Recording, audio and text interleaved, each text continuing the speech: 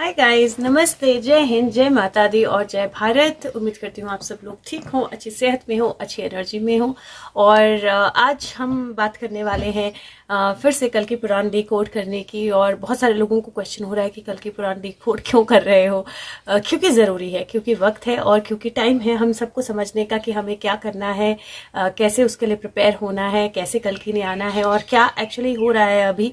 तो वक्त है उसके लिए प्रिपेयर करने का और जो भी लोग ये सोचते हैं कि ये एनर्जीज जो हैं वो लिटरल हैं। अगर कोई आ, माता है तो वो लिटरल हैं। अगर उनका मीनिंग है तो वो लिटरल है तो वो बिल्कुल नहीं है। और अब वक्त है हम इस बक्से में से इस बॉक्स में से जो हमने अपने लिए क्रिएट किया है और हम आगे वाले जनरेशन के लिए क्रिएट कर रहे हैं उस बॉक्स में से बाहर निकले तो बॉक्स में से बाहर निकलिए और आज हम बात करेंगे कल हमने बात की थी जहाँ पे हमने बात की थी कल के पुराण में कि ब्राह्मण कौन है और कैसे आप ब्राह्मण बन सकते हो और कैसे दो तरह के ब्राह्मण की एनर्जी जो है बताई गई है। एक जो ब्राह्मण है, जो जो जो इवॉल्व सोल है, उसको सब कुछ पता है। और दूसरे जो इवॉल्व हो रहे हैं इस टाइम में और अवेकनिंग की एनर्जी में आ रहे हैं और ट्रांसफॉर्म हो रहे हैं इस टाइम में, जिनको ट्वाइस बॉर्न बोला गया है। तो कल हमने बात की थी यजुर्वेदा वाले ब्राह्मण्स की, कि उसकी क्या स्पेसिफिक क्वालिटीज हैं और कैसे आप उस एनर्जी में आओगे। आज हम बात करेंगे सामवेदा, जो बेसिकली um, uh, जो जो बात है सेकंड uh, बॉन्ड की तो uh, जब हम सेकंड बॉन्ड की ट्वाइस बॉन्ड की जब हम ट्वाइस बॉन्ड की बात करते हैं और जब हम ब्राह्मण्स की बात करते हैं साम वेदा वाले थ्रेड की तो उनमें सबसे पहले तो um, वो जो थ्रेड होगा जो साम वेदा अब साम वेदा मतलब वेदा की चैंट करना सो अगर आप यजुर्वेदा बोलो तो वो मंत्रास को कंठस्थ करना या मंत्रास को याद करना या मंत्रास को समझना है और अपनी इंट्यूशन को अवेक अवेकन करना है और जब हम साम वेदा बोलते हैं तो साम वेदा जो है, उसकी चैंटिंग करना है, उन मंत्रास को एक्चुअली चैंट करना है और चैंट करने का मतलब दूसरों तक पहुंचाना भी है। तो डिफरेंस जो है, यजुर्वेदा और साम वेदा वाले ब्राह्मण में सिर्फ़ इतना होगा, ये एक्चुअली वन स्टेप और सेकेंड स्टेप है। जब आप पहले स्टेप पे होंगे तो आपको अपने आप को अपनी एनर्जीज को इवॉल्व करना है। जब आप दूसरे स्टेप में हैं तो आपको उन एनर्जीज को दूसरों तक पहुंचाना है। तो सिर्फ़ वो जो थ्रेड हमने जिसकी बात की थी पिछले, उसमें जो नॉर्मल लिटरल थ्रेड नहीं है, बल्कि आपकी एनर्जीज हैं, आपके अंदर की क्वालिटीज हैं। उसमें सिर्फ़ एक डिफरेंस जो है वो आएगा, जब आप सामवेदा वाली एनर्जी में आओगे, जहाँ पे आपका थ्रेड जो है वो नेवल से नीचे हो जाएगा। नेवल से नीचे क्यों होगा? क्योंकि जब बोलते हैं जब आप चैंटिंग करो तो वो आपके बेस से आनी चाहिए। दूसरा, जब आप किसी को और को कुछ सिखाओगे तो सबसे पहले आप अपने आप में स्टेबल होने चाहिए, आपकी एनर्जीज कंप्लीटली ग्राउंडेड होनी चाहिए, तब आप किसी और को सिखा सकते हो। तो वो थ्रेड जो है, वो नेवल से नीचे होता है, क्योंकि आपकी एनर्जीज कंप्लीटली ग्राउंडेड होनी चाहिए, आपको पता होना चाहिए, मैं हूँ, मैं कौन हूँ, मेरी क्या एग्जिस्टेंस है, जो आपकी इंट्यूशन अवेकन होगी, उससे आएगी, और फिर आप उसको स्प्रेड कर पाओगे दूसरों तक तो आपका थ्रेड जो है नेवल से नीचे हो गया। ये तो आगे ब्राह्मण्स। अब ट्वाइस बॉन्ड की बात करते हैं। तो ट्वाइस बॉन्ड के लिए सबसे पहली चीज़ जो उन्होंने बोली है कल की पुराण में, वो है तिलक। तिलक ट्वाइस बॉर्न के माथे पे तिलक होगा। अब तिलक भी लिटरल नहीं है और हम बहुत सारे लोग लगाते हैं, हम तिलक लगाते हैं, हमारे धर्म में लगाया जाता है अलग अलग धर्मों में माथे पे कुछ लगाया जाता है अलग अलग तरह का तिलक, लेकिन ये तिलक भी लिटरल नहीं है। सिर्फ़ तिलक लगा के छोड़ दिया और हम सोचे हम ब्राह्मण बन गए तो वो नहीं है। इसके अंदर भी बहुत सारे गुड़ अर्थ हैं और अभी हम उन गुड़ अर्थ की बात करेंगे। तो सबसे पहले तो बोलते हैं Um, जो ट्वाइस बॉर्न है, उनका जो फोर हेड है, उस पर तिलक होगा। अब तिलक का मतलब क्या है? वो जो तिलक होगा, वो कहाँ पे आप लगाते हैं? तिलक लगाते हैं थर्ड आई पे विच मीन्स जो ट्वाइस बॉर्न है, वो कम्प्लीटली अवेकन होंगे। उन्होंने अपना फेथ जो है रिन्यू कर लिया होगा, उन्होंने अपनी ज़िंदगी को समझ लिया होगा, उन्होंने अपने ट्रुथ को समझ लिया होगा, इसलिए उनकी थर्ड आई ओपन होगी। तो तिलक का मतलब है थर्ड आई का ओपन होना। अब ये तिलक में किन किन चीज़ों का तिलक लगेगा, उससे भी आपको बहुत ज़्यादा चीज़ें समझ में आएँगी। उनको क्या समझ आ जाएगी? ट्वाइस बॉर्न मतलब वो क्या समझ चुके होंगे? क्या रिन्यूअल होगा। तो पहली जो चीज़ है तिलक की, वो तिलक जो है सैंडलवुड मतलब चंदन से बना होगा। अब चंदन का बेसिकली मतलब होता है अपने अंदर माइंड की यूनिटी इनर यूनिटी को समझना अवेयरनेस होना, अपनी सोल को समझना और हायर कॉन्शियसनेस से कनेक्ट होना। इसका मतलब है कि पहली चीज़ जो है वो ट्वाइस बॉन्ड के लिए ये होगी कि वो जो यूनिटी है, सारी एनर्जीज एक है, हम सब सेम सोर्स से आए हैं, हम सब सेम सोर्स के साथ कनेक्टेड हैं वो उस, वो अवेयरनेस उनमें आ जाएगी। वो अपनी इनर सोल के साथ कनेक्टेड होंगे और हायर सेल्फ के साथ, अपने सोर्स के साथ उनकी कनेक्टिविटी स्ट्रांग हो जाएगी। दूसरा जो है, उसमें लिखा गया है क्ले क्ले का मतलब है मिट्टी या जो हाँ अर्थ मतलब मिट्टी की एनर्जी और मिट्टी की एनर्जी का मतलब है नेचर की फोर्सेस के साथ दोबारा से कनेक्ट होना। तो नेचर की फोर्सेस के साथ दोबारा से कनेक्ट होने का मतलब है नेचर के साथ आपका जो कनेक्टिविटी है जो अर्थ के साथ, जो नेचर नेचुरल पेड़, पौधे ज़िंदगी ग्राउंडिंग इनके साथ जो आपकी कनेक्टिविटी है, वो डिफरेंट हो जाएगी। आपका स्पिरिचुअल कनेक्शन जो है, समझ आएगा और आप अपने सोल बॉडी में अपने आप को पूरी तरह समझ पाओगे। मतलब अपनी सोल को भी समझोगे, अपनी बॉडी को भी समझोगे, उन दोनों का कॉम्बिनेशन भी समझोगे। तो ये दूसरी क्वालिटी है। तीसरा उसमें होगा ऐश ऐश का मतलब है स्वाह। स्वाह स्वाह जो होती है बेसिकली जब धूप जलता है या हवन जब जलता है तो उसके बाद में जो बच जाती है, वो ऐश होती है या स्वाह होती है। जो धूल उसकी जो बच जाती है लिटरली धूल नहीं बोलते हैं पर मैं आपकी अंडरस्टैंडिंग के लिए बोल रही हूँ।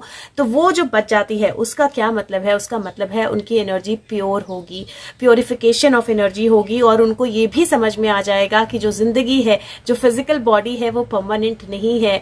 आप जो सोर्स के साथ सोल के साथ जुड़े हो वो परमानेंट है लेकिन फ़िज़िकल बॉडी धूल में मिट्टी में मिल जाएगी। एक दिन तो फ़िज़िकल बॉडी परमानेंट नहीं है। सो so, ये तीन एस्पेक्ट्स जो है वो उनकी थर्ड आई को ओपन करेंगे। तो तिलक का मतलब है कि ये तीनों चीज़ों का मतलब है कि ये तीन एस्पेक्ट्स जो है ट्वाइस बोन के लिए। जब आप बोलोगे कि मैं ट्वाइस बोर्न हूँ तो इसका मतलब है कि आप ऑलरेडी इन तीनों एस्पेक्ट्स को समझ चुके हो। जब आप समझ चुके हो तो आप ट्वाइस बोर्न हो, और ट्वाइस बोर्न का काम क्या है? कलकी की बातों को, कलकी की एनर्जी को दुनिया तक पहुंचाना।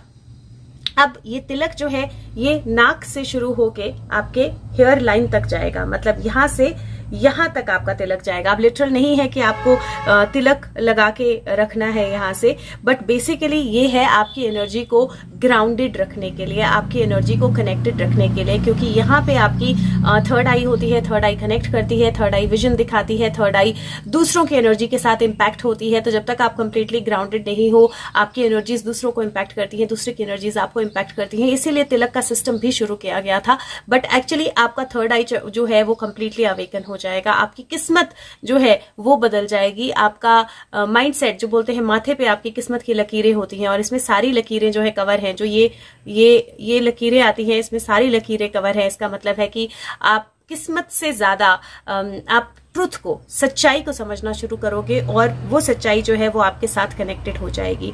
अब इसकी लेंथ जो है वो थ्री फिंगर्स बताई गई है। अगर आप तीन फिंगर रखेंगे तो आपका माथा कवर होता है तीन उंगली में। तो थ्री फिंगर्स की लेंथ क्यों बनाई गई है? क्योंकि ब्रह्मा, विष्णु, महेश। ब्रह्मा, विष्णु, महेश थ्री फिंगर्स की लेंथ बताई गई है और ब्रह्मा, विष्णु, महेश का मतलब है कि इसमें आपकी सारी एनर्जीज जो है, आपके सारे चक्रास आपकी क्रिएशन आपका मेंटेनेंस आपका डिस्ट्रक्शन विच मीन्स आप लाइफ साइकिल जो है, उसको पूरी तरह तरह समझ जाओगे। तो वो ट्वाइस बॉन्ड की एनर्जी है, वो अवेकनिंग की एनर्जी है। अब एक और कारण क्यों मैं बोलती हूँ कि ये चीज़ें लिटरल नहीं है, क्योंकि इसमें आगे लिखा गया है कि जो हेवनली प्लैनेट्स हैं, जो ग्रह हैं, वो उनके हाथों में रिसाइड करेंगे। अब आप सोचो कि अगर ये लिटरल है तो आप हाथों में ग्रह लेके तो नहीं चल सकते हो, बिल्कुल नहीं चल सकते हो। तो ग्रह आपके हाथों में रिसाइड करेंगे या ट्वाइस बॉन्ड के हाथों में रिसाइड करेंगे मतलब अपनी किस्मत ट्वाइस बॉन्ड के अपने हाथ में होगी। वो अब, वो समझेंगे कि कोई और चीज़ उनके ज़िंदगी ज़िंदगी को नहीं बनाती है वो बाकी चीज़ों को इम्पैक्ट कर सकते हैं। इट इज़ लाइक कोई चीज़ अगर मुझे इम्पैक्ट करती है तो मैं उनको भी इम्पैक्ट कर सकती हूँ। तो मेरे जो एनर्जी है मेरी जो फेट है वो मेरे अपने हाथों में होगी। ट्वाइस बॉर्न को ये समझ में आ जाएगा कि प्लेनेट उनको रूल नहीं करते हैं बल्कि वो प्लेनेट की एनर्जी को रूल कर सकते हैं चेंज कर सकते हैं। इसलिए प्लेनेट्स उनके हाथों में होंगे। उनकी बॉडी जो है वो um, सारे होली प्लेसेस जो है वो उनके शरीर में होंगे। अब आप सोचो कि लिटरली ऐसा हो सकता है कि एक जो पर्सन है, उसके सारे होली प्लेसेस उसके शरीर में आके बैठ जाएँ या शरीर के ऊपर आ जाएँ, नहीं हो सकता है। ये सारी सिग्निफिकेंट एनर्जीज हैं, ये सारी सिंबॉलिक एनर्जीज हैं और बहुत क्लियर है। उन्होंने इसीलिए ऐसे एग्ज़ाम्पल ऐसी चीज़ें लिखी हैं ताकि जो भी थोड़ा सा समझदार हो, उसको समझ में आ जाए कि ये सिंबॉलिक है। होली प्लेसेस बॉडी में होंगी बिल्कुल, क्योंकि ट्राइसबॉर्न को ये समझ में आ जाएगा कि उनका शरीर जो है, वो एक मंदिर की तरह है और उसको एक मंदिर की तरह ही ट्रीट करना है, अपने शरीर से प्यार करना है और अपने शरीर की केयर करनी है, क्योंकि शरीर जो है इंस्ट्रूमेंट है आपकी एनर्जीज को आगे लेके जाने का, आपकी लर्निंग को आगे लेके जाने का। जो मटेरियल वर्ल्ड के मोड्स हैं, जो मटेरियल वर्ल्ड की चीज़ें हैं, वो उनकी एम्बेरिकल एम्ब्रिकल कॉर्ड में मतलब आपके नेवल में अटैच्ड होंगी। तो जो मटेरियल चीज़ें हैं वो नेवल में अटैच्ड होंगी। क्यों नेवल में अटैच्ड होंगी? क्योंकि आप किसके साथ अटैच्ड मदर के साथ आप नेवल से अटैच्ड होते हो राइट सो so, जो अटैचमेंट्स हैं वो आपके नेवल में होंगी और जब आपको समझ में आ जाएगा कि वो अटैचमेंट्स जो है वो आपको रूल नहीं करती है तो आप क्यों जैसे कॉर्ड कट हो जाती है मदर के साथ जब बेबी बॉर्न होता है तो वो कॉर्ड काट दी जाती है। वो इसलिए काट दी जाती है कि अब तुम्हारी डिपेंडेंसी खत्म है अब तुम्हें अपने आप एज एन इंडिविजुअल अपने आप को अपनी लर्निंग्स के साथ स्टैब्लिश करना है, लेकिन वो चीज़ हम नहीं समझ पाते हैं। ये चीज़ जो है, ये ट्वाइस बॉन्ड समझेंगे। गायत्री मंत्र उनका नेकलेस होगा। अब सोचो कि लिटरली नेकलेस तो नहीं पहनेंगे गायत्री मंत्र का। गायत्री मंत्र उनका नेकलेस होगा विच मीन्स की गायत्री मंत्र उनको कंठस्थ होगा विच मीन्स की उनकी वॉइस जो है, उनकी जैसे गायत्री मंत्र बहुत इफ़ेक्टिव है, दूसरों की एनर्जीज को चेंज कर सकता है पॉजिटिव एनर्जीज को ला सकता है किस्मत को, चीज़ों को बदल सकता है, उसी तरह उनकी जो वॉइस होगी, उनका जो थ्रोट होगा, उनकी जो बात करने का ढंग होगा, उसका इम्पैक्ट गायत्री मंत्र जैसा होगा, वो आपको कामनेस देगा, आपको आराम देगा, आपको अच्छी एनर्जी देगा पॉजिटिव एनर्जी देगा। रिलीजन uh, प्रिंसिपल्स जो है वो उनकी चेस्ट में रहेंगे विच मीन्स दैट जो स्पिरिचुअलिटी है रिलीजन का मतलब यहाँ लिटरल रिलीजन नहीं है जिन पे हम लड़ रहे हैं मर रहे हैं पर uh, जो स्पिरिचुअलिटी है वो उनकी चेस्ट में विच मीन्स कि वो इंट्यूशन से फ्लो करेंगे। वो इंट्यूशन जो है वो उनको गाइड करेगी इंट्यूशन की एनर्जी को लेकर वो आगे बढ़ेंगे। Ir रिलीजन है जो वो उनके बैक में होगा विच मीन्स कि जो uh, स्पिरिचुअल नहीं है, जो सेल्फिशनेस है, वो उन, उनको पता होगा कि ये मेरी अपनी रिस्पॉन्सिबिलिटी है, ये मेरा अपना भार है। और ये मैं भार लेकर चल रहा हूँ तो मुझे इस भार को लेकर चलना है या नहीं चलना है? मुझे सेल्फिश होना है या नहीं होना है? मुझे अपने बारे में सोचना है या नहीं सोचना है? मुझे स्पिरिचुअलिटी से अलग होना है कि नहीं होना है? और उनको समझ में आएगा कि ये उनकी अपनी रिस्पॉन्सिबिलिटी है। मैं अपने लिए खुद रिस्पॉन्सिबल हूँ। मैं अपनी एनर्जी के लिए, अपनी ज़िंदगी के लिए, अपने एक्शंस के लिए, अपनी लाइफ में जो हो रहा है अच्छा बुरा, उसके लिए खुद रिस्पॉन्सिबल हूँ। ये उनको समझ में आ जाएगा। जो ब्राह्मण्स होंगे, ये जो क्वालिटीज है, ये ब्राह्मण्स जो है, ये होंगे जो कल की मिशन के लीडर्स होंगे और कल की मिशन को आगे लेके जाएँगे। इनका मेन ऑक्यूपेशन मेन काम जो होगा, वो कल की मिशन को आगे ले लेके जाना होगा। और इसकी जो लास्ट लाइन है, वो सबसे ज़्यादा ब्यूटीफुल है क्योंकि उसको सुनकर आपको बहुत अच्छा लगेगा और बहुत कनेक्टेड फील होगा क्योंकि लास्ट लाइन जो है, वो बोलती है, बोलता है, वो बोलते हैं कल की कि मैं दुनिया में आऊँगा जो मेरे ब्राह्मण्स हैं। उनकी जो स्टेटमेंट्स हैं वो जो बोलेंगे उसका सत्य साबित करने के लिए मैं दुनिया में आऊँगा। I reincarnate to show the truth of their statements so जो ब्राह्मण बोलेंगे, जो कलकी की एनर्जी के बारे में दुनिया में बात करेंगे, जो कलकी की एनर्जी को फैलाने की कोशिश करेंगे, जो कलकी को समझाने की, उसका सच समझाने की कोशिश करेंगे, उनको दुनिया पागल समझेगी या उनको दुनिया बहुत पॉजिटिवली नहीं लेगी। और कल जो है, वो सामने आएँगे दुनिया के बताने के लिए कि ये जो बोल रहे हैं, ये मेरे ब्राह्मण हैं और ये सही बोल रहे हैं और मैं हूँ। तो ये सबसे ज़्यादा ब्यूटीफुल स्टेटमेंट है इस चैप्टर की, और इसीलिए ये एनर्जीज जो हैं, ये आपको अपने में इनकलकेट करनी है, और इसका मतलब ये नहीं है कि आप लिटरल तिलक लगा के चलो, या प्लैनेट्स को अपने हाथ में ले लोगे, या नेकलेस गायत्री मंत्र का पहन लोगे, या आपके पीठ के ऊपर रिलीजन बैठ जाएगा, या आपके बॉडी के ऊपर रिलीजियस प्लेसेस आ जाएँगी, इसका मतलब ये लिटरल बिल्कुल नहीं है। इसका मतलब है कि वो जो थ्रेड है, उसकी जो क्वालिटीज हैं, वो अपने में लाइए, वो जो तिलक है, उसकी जो क्वालिटीज हैं, वो अपने में जगाइए। वो जो वो जो उसकी लेंथ है, उसकी बाकी की जो थ्रेड की लेंथ है, जो तिलक की लेंथ है, उसकी क्वालिटीज अपने आप में जगाइए। जो होली प्लेसेस की तरह आपका शरीर है, उसको विश्वास उस पर उसको समझिए।